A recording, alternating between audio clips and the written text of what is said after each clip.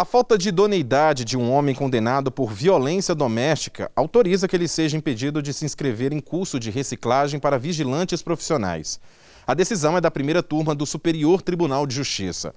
A controvérsia teve origem em ação anulatória proposta por um candidato ao curso de reciclagem para vigilantes profissionais.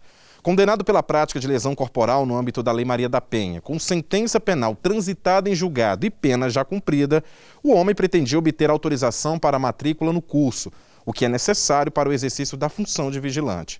Mas a ação anulatória foi julgada improcedente em primeiro grau, depois que a matrícula não foi aceita pela Polícia Federal.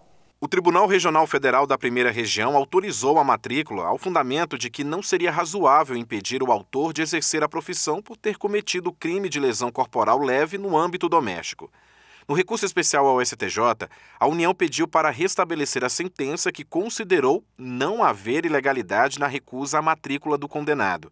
O relator, ministro Sérgio Cuquina, destacou o entendimento predominante no STJ, segundo o qual é válido recusar a inscrição em curso de reciclagem para vigilantes profissionais de condenado por uso de violência ou que demonstre comportamento agressivo incompatível com a função porquanto configurada a ausência de idoneidade do profissional. Com isso, a primeira turma do STJ deu provimento ao recurso especial da União.